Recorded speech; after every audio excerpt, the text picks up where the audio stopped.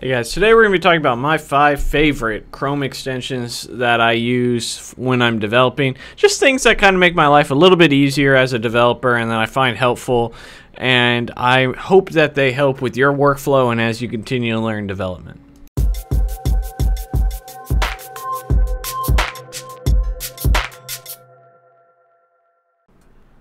Hey guys, before we jump into today's video, while you're out there saving all that time with these awesome suggestions from these Chrome extensions I'm going to recommend, might you use some of that time to relax with a humble monthly bundle where you can get H1Z1 at, along with two crates in game plus $100 of other games every month.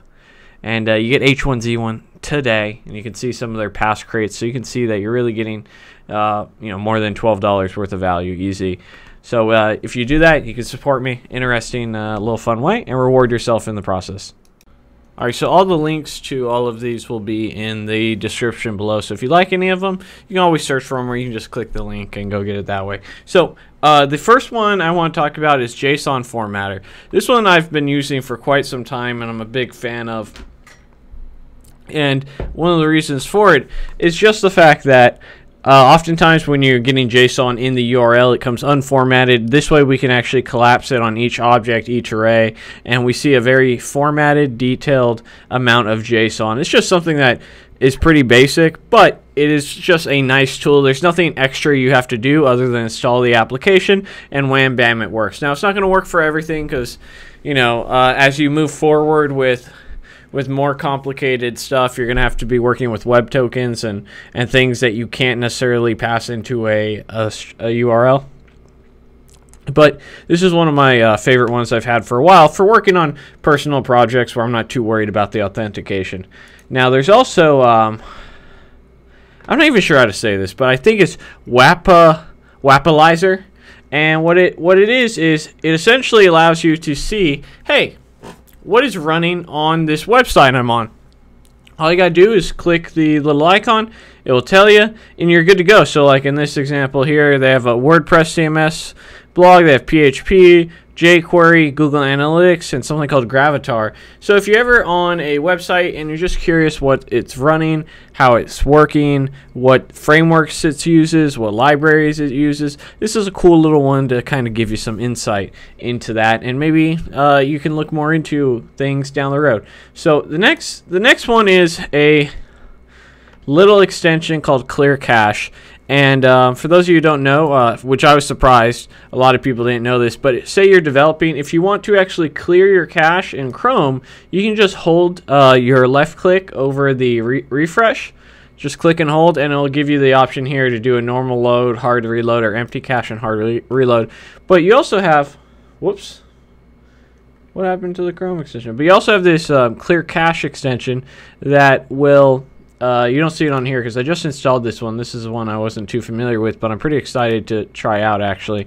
Where you can just have a button there that will clear the cache for you, and you can even set it to remove additional forms of data, such as cookies and and things of that nature, so that you can really sort of clear your cache. Because I don't know how many times you guys have had caching issues as a developer, but it happens to me all the time. Uh, and so it is my first go-to when something doesn't load that should load, right? uh, clear cache. So uh, the other one is form filler. Uh, this is a great one. I, I, really like this. And what it basically does is, uh, oftentimes as you're building your millionth CRUD application, uh, for those of you who aren't familiar with CRUD, what that basically means is create, read, update, delete. sort of your uh, post, put, delete, and get calls, your CRUD calls, or as I like to call it when I want to get fancy, Dirk. Uh, delete, update, read, create, because you can only make so many CRUD apps. But uh, you know, so uh, as you're building these CRUD apps, what you'll find happening is that when you're inputting data, you're manually inputting data. So instead of that, all you need to do is hit uh, form filler. For the longest time, I thought this was form filler.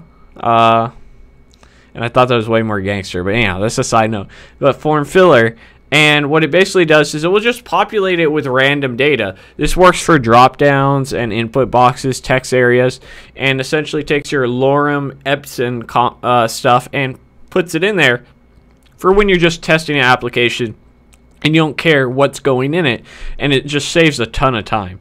Um, this next one, some of you may disagree about this, but um, it's the Lightshot tool. They also have a desktop application, what this basically allows you to do is to, with just hitting the print key, to take a screenshot of your window and then actually put some text on it. I use this a lot when I'm just stuck on one thing. I need someone to see a snippet of code, or I want to showcase where I'm at. Why didn't that work? I want to showcase where I'm at so that people can see how this works and what it does. And you can see here, like, okay, cool. And then I want to search, you know, say, oh, look, this code right here. This is where I'm stuck. And, um, you know, if I wanted to add some text, I could and say, what the fuck? Why doesn't it work? Question mark. And then I could save it and then I can send it to the person. And uh, it's just a, a, good tool that I've used pretty pretty much every day I feel like um, for various things as I've you know continued to better my skill set and continue to be a, a developer. Now there's there's other tools that are more specific. Um, I really was only going to do um, five of these but there are um, like uh, the React developer tools if you're a React developer, and they have uh, Angular developer tools. I'm forgetting the name of it. Um, I have it on my my uh, my work computer, but there's also the Redux developer tools, and the reason you need those a lot of times is your HTML, your template will change, and you may not have all your resources uh, by default in a web in your web page because of how your code has changed. And so you have these developer tools that help that. There's also uh, on a side note, I don't adv- advise using this one anymore, even though I use it. Um, but I have this allow control. Uh, basically, if you've ever had a cross origin request error, uh, what this extension, the Corsair, does is it will insert into your header something that allows cross origin requests. And about 90% of the time, it solves that issue just when you're testing on things or in an environment that you're not too worried about. But for the most part, is a, a bad practice to have. Um, but uh, these are some. I hope anyhow. I hope you found some of these uh, tools helpful. Another thing that people suggested in the uh, in the Facebook group when I asked them about this topic was that they have a video speed extension. I don't know which one, but they have a video speed extension so they can watch videos at a faster pace, all the way up to like 3.5 times. But yeah, so there are other uh, extensions that will allow you to increase your video speed, although I don't really recommend it. I know some people really like to watch videos at two times the speed.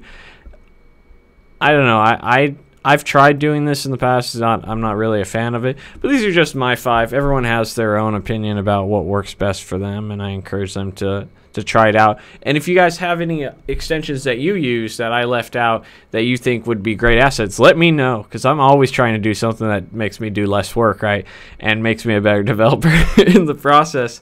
So uh, thank you so much for watching the video, guys. I appreciate it. Don't forget to comment with your suggestions. Don't forget to like the video, share the video if you found it helpful. And if you want to support me, you can on Patreon.